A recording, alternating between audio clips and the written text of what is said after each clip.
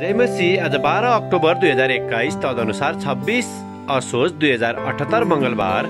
आज हामी माथिल्लो कोठाबाट हेर्नेछौँ। आजको शीर्षक छ साना इसाराहरू। आज हामी परमेश्वरको वचन मत्ती पाँचको तेह्रदेखि सोह्रसम्म पाठ गर्नेछौँ। तिमीहरू पृथ्वीका नुन हौ तर नुनको स्वाद गयो भने त्यो केले फेरि नुनिलो पारिने र त्यो त बाहिर फालिन र मानिसका खुट्टाले कुल्छन बाहेक अरू केही कामको हुँदैन।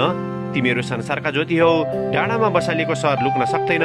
मानिसहरूले बत्ती बालेर पाथी लिएर छोप्दैनन् तर सामदानमा राख्दछन् र घरमा हुने सबैको निम्ति त्यसले उज्यालो दिन्छ। यसरी नै तिमीहरूको ज्योति मानिसहरूका सामुन्ने चम्कोस् र तिनीहरूले तिमीहरूका सुकर्म देखुन् र स्वर्गमा हुनुहुने तिमीहरूका पिताको महिमा गरून्। आमेन। मत्ती पाँचको स्वरलाई लेखक यहाँ जोड दिनुहुन्छ।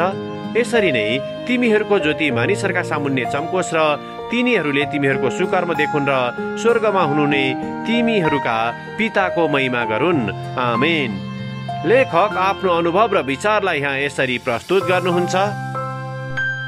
हाई स्कुलको विद्यार्थीहरूका लागि क्यारियर प्रशिक्षकको मेरो भूमिकामा कार्यस्थलमा सकारात्मक आवृत्तिको महत्त्वबारे मैले एउटा कक्षा लिँदै थिएँ। मैले त्यति राम्ररी नचिनेको एउटा विद्यार्थीले मेरो सकारात्मकताबारे ख्याल गर्दै त्यो कहाँबाट आएको हो भनी प्रश्न गरी मलाई छक्क पारिन्।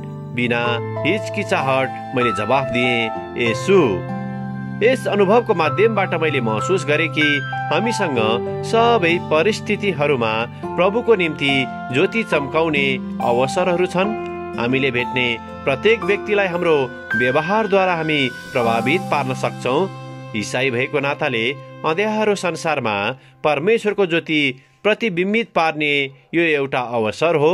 यो निकै कठिन देखिन सक्छ तर हामी एक्लै छैनौँ। यसु हामीसँगै हिँड्नुहुन्छ र हामीलाई प्रेरित गर्नुहुन्छ।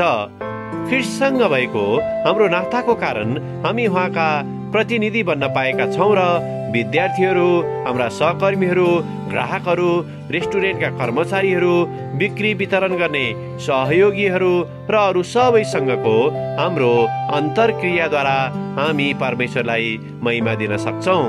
एक मुस्कान र एउटा मैत्रीपूर्ण शब्द जस्ता साना इसाराहरूले अरूसँग हाम्रो विश्वास बाँड्ने ढोका खोल्न सक्छ।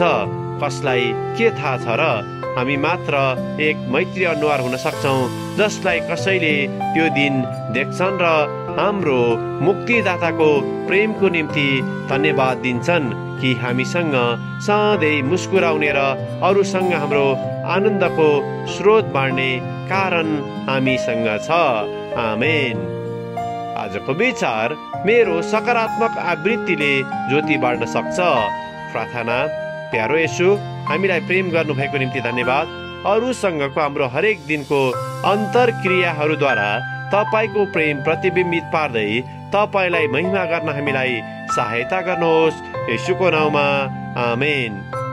आजको लेखक निकी डाइट्स आलाबामा अमेरिका।